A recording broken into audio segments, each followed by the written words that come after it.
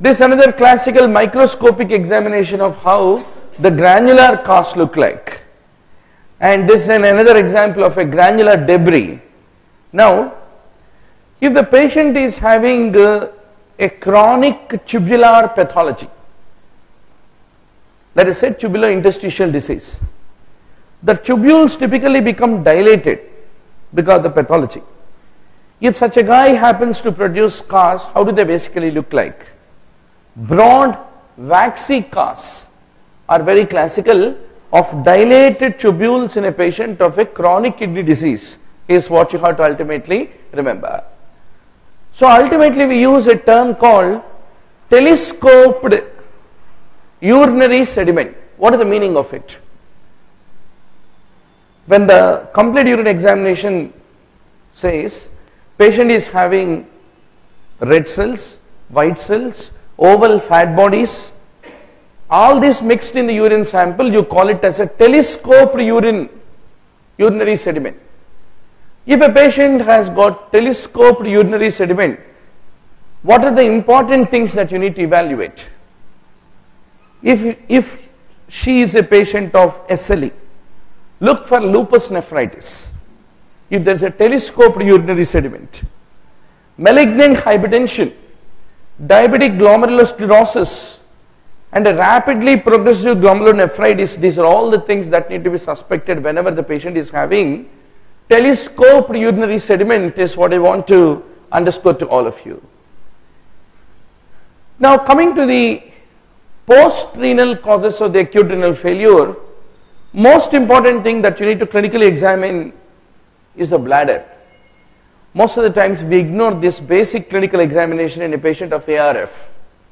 For example, you have an elderly patient, 75, 80 year old, severe urea creatinine elevation is there acutely.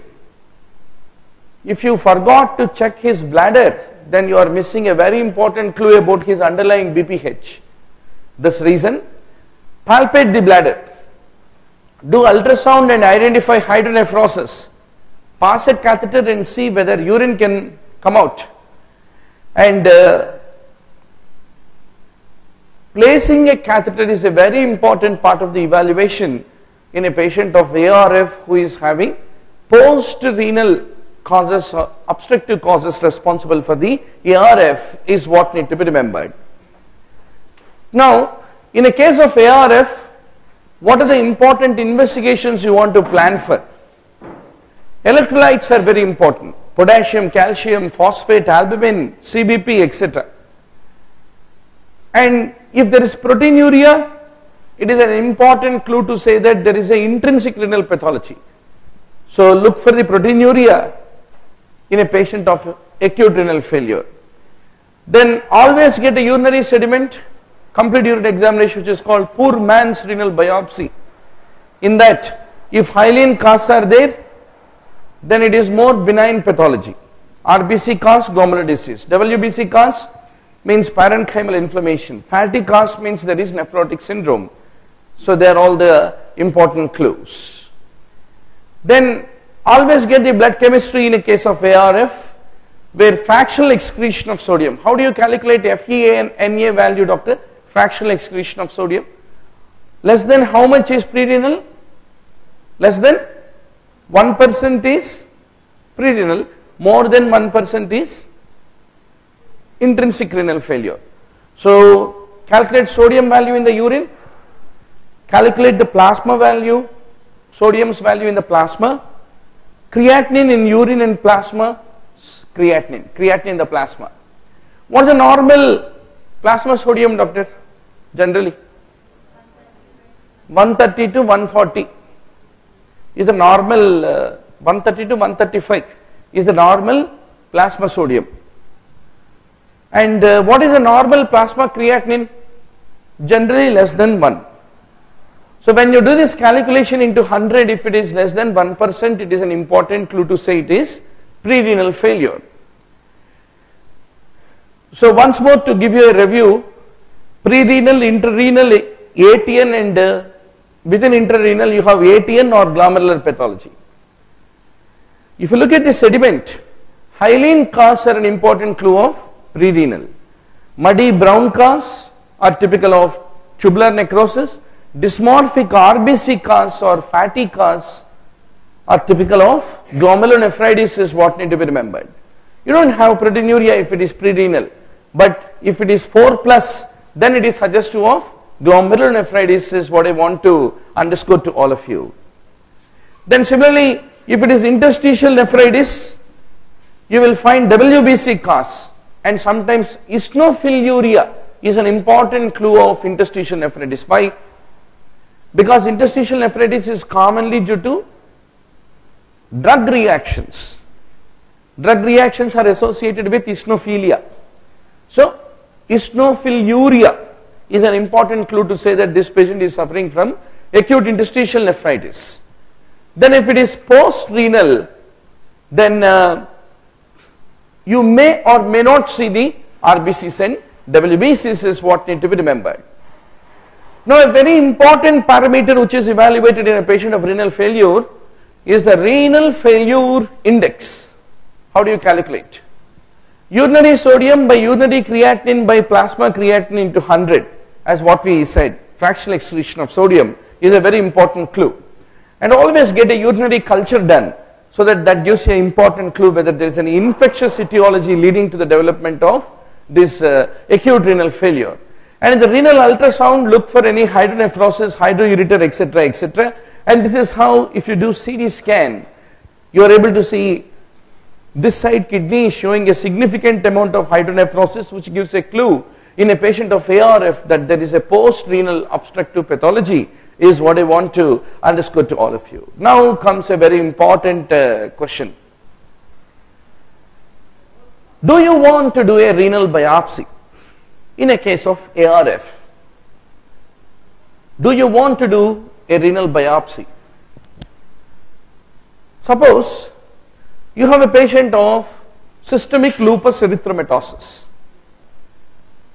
A SLE patient develops a acute deterioration of the renal function and goes into azotemia and you are suspecting lupus nephritis and you want to plan for immunosuppression in her, right?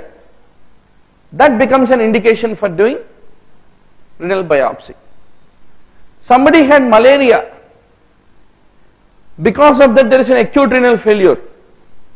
Do you want to do renal biopsy? No, you don't want to do. Somebody has hypovolemia, dehydration, shock, clear cut telltale signs of the possible underlying cause of the renal failure. Do you want to do renal biopsy? No. So you must know what are the indications of renal biopsy in a case of the ARF. Conditions like lupus nephritis, acute glomerulonephritis if you have a clue. It is a glomerulonephritis. How do you recognize? What is meant by nephritic picture? Hematuria, hypertension with renal failure combination gives you a picture of nephritic picture. There you need to do or if you are suspecting any allergic interstitial nephritis also it becomes an indication for renal biopsy is what need to be remembered.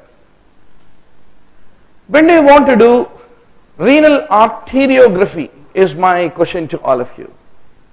Suppose if you are suspecting renal artery stenosis as the underlying possible cause for the development of an ARF, then that becomes an indication for doing, as you can see, these are the stenotic renal vessels originating from aorta. Renal vessels are the branches of the aorta, right? Now, a very common diagnostic and therapeutic algorithm which are expected to draft in the tomorrow's exam is how do you approach clinically a patient of ARF? There is ARF. Always rule out the post-renal causes. How will you rule out? History, physical examination, Foley catheter, do a renal ultrasound. They are the important clues. Then you do the urine analysis. If it is a hyaline cast, consider prerenal failure. If it is muddy brown cast, consider ATN. If it is RBC cast, consider glomerular disease. If it is WBC cast, consider pyelonephritis or acute interstitial nephritis. If it is eosinophiliuria. Then if it is prerenal, always get a blood urea nitrogen, fractional excretion of sodium and urinary osmolarity. If at all the blood urea nitrogen by creatinine ratio less than 20, fractional excretion of sodium more than 2%, urine osmolality is low, that means there is a salt losing, water losing, intrinsic cause of a renal failure is what you will basically conclude. If you put this diagnostic algorithm, examiner is happy. This guy has read the entire chapter of ARF in one shot. So what are the important complications of acute renal failure? You are the house surgeon in the midst of the battlefield of casualty. You have a patient paraded to you, a poor farmer from the village who had malaria or sepsis with an acute renal failure. How are you going to manage him? Number one, once there is an acute renal shutdown, the ability of the kidney to drain the water out of the body is gone. Hence there is a fluid retention. And because of that, the ECF volume expansion will be there and he will be going into pulmonary edema. If there is pulmonary edema, give him furosemide. Normally, what is the dosage of furosemide that you give? Lasix. 20 mg, 40 mg, they are all non-ambitious doses in a patient of pulmonary edema. You should give 80 mg, 120, 160 mg. If you give 20 mg, 40 mg, kidney will be laughing. Ah, this uh, physician, prescribing physician has never studied medicine properly. Why? Because if you give such a low dose, it need to reach kidney first. And it need to reach the tubular side. And there it need to act and in the ascending limb of loop of Henle to get the fluid drained into the urine. So if you give 20 40 mg in a patient of acute pulmonary edema it is significant underdosing. That's the reason 80 mg 120 mg intravenously dramatically you must act if there is pulmonary edema is what need to be remembered. In spite of giving a loop diuretic if there is no improvement in the patient then that becomes an indication for dialysis is what you need to remember.